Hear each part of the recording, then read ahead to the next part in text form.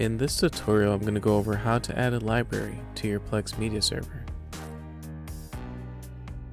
So first you're going to navigate to the menu here over on the left hand side and expand that. Now sometimes everything isn't displayed so you're going to go ahead and press the more button here at the bottom to display everything and give us the option to add a library.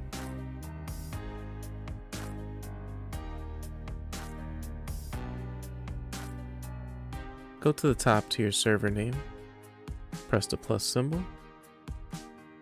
For the purpose of this tutorial, we're going to go ahead and click the photos icon add a photo library. I'm going to name it something uh, interesting. We're going to name it something that you're most likely to remember. You want to name it something you remember. Press next. On the next page, you're going to go ahead and press the folder or browse for folders icon.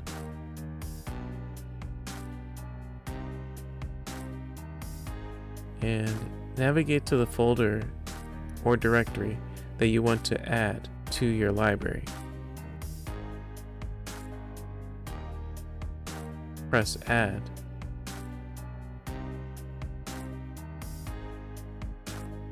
Proceed.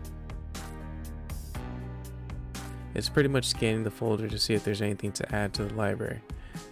Since I have nothing to add, it's not listed. Thank you.